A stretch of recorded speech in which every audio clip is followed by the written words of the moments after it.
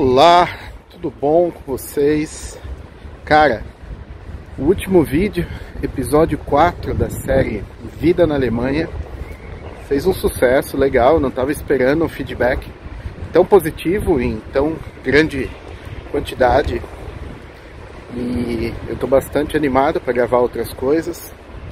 Obrigado. E teve é, algumas sugestões apareceram e uma coisa muito importante eu deixei de fora do outro vídeo e meu amigo Warley trabalha comigo ele disse que é importante frisar isso então eu decidi fazer este vídeo de adendo aquele vídeo e a informação é sobre o valor do calção que você tem que pagar para alugar o seu apartamento. Funciona assim. Antes de sair do Brasil, normalmente, tá? Não é regra, se aluga um apartamento mobiliado através de um dos serviços que existem exatamente para suprir esta necessidade. No caso, eu estou pensando aqui sobre o Wunderflats ou o Coming Home. Eu usei o Wunderflats, foi ótimo. E ali você paga o calção total, três meses de aluguel, normalmente. Mas, quando você vai para um apartamento vazio, com um contrato médio a longo prazo, parece que existe uma lei que obriga o proprietário ou a imobiliária a parcelar o valor do calção em três vezes iguais. Isso é mais garantido que aconteça quando você está alugando de uma imobiliária. Normalmente, quando você está alugando direto do proprietário, ele pode simplesmente dizer: Não, eu quero receber tudo de uma vez.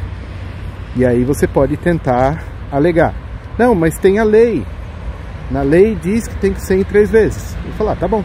Então o apartamento não está mais para aluguel. Sinto muito, desisti, não vou alugar. Tu vai fazer o quê? Estrangeiro, o cara está no país dele, você não.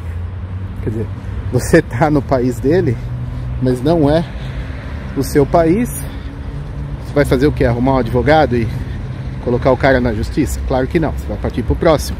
Né? Então, existem estas situações sim. E eu não tive esse problema, eu paguei o meu segundo calção do apartamento que eu aluguei longo prazo. Paguei o calção em três vezes.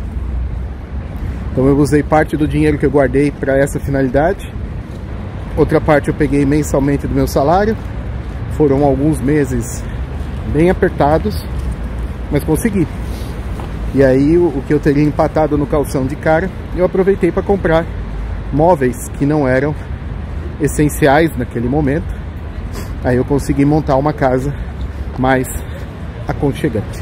Então foi essa a informação que faltou. O, outras sugestões ou pedidos foi para falar sobre a carga tributária, falar também sobre como foi trazer a família, conseguir o visto, adaptação da esposa, criança na escola, etc. Também ser, será feito um vídeo sobre esses assuntos, como é a amizade aqui, com quem a gente convive e o que, que a gente faz. Tudo isso será abordado em vídeos futuros, que eu espero não demorar muito tempo para gravar. Como vocês podem ver, eu estou caminhando, voltando do trabalho. Já não está mais tão frio, apesar de eu estar todo agasalhado aqui até o pescoço. Isso é para evitar ficar gripado. A parte mais vulnerável no inverno é a garganta.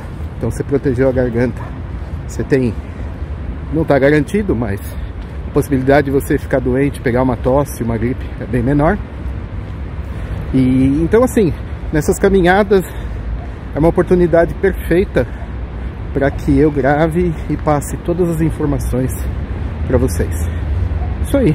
Obrigado por ter assistido. Se tiver dúvida, sugestão, elogio, deixa tudo aí nos comentários. Não deixe de me seguir no Twitter Vedovelli74, Vedovelli74. Se você caiu por acaso aqui, não é assinante do canal, seja bem-vindo, assine, ligue as notificações para que você não perca nenhum lançamento. É isso aí. Deixo aí um forte abraço para vocês. Eu sou o Fábio Vedovelli, direto de Berlim, Alemanha. Tchau.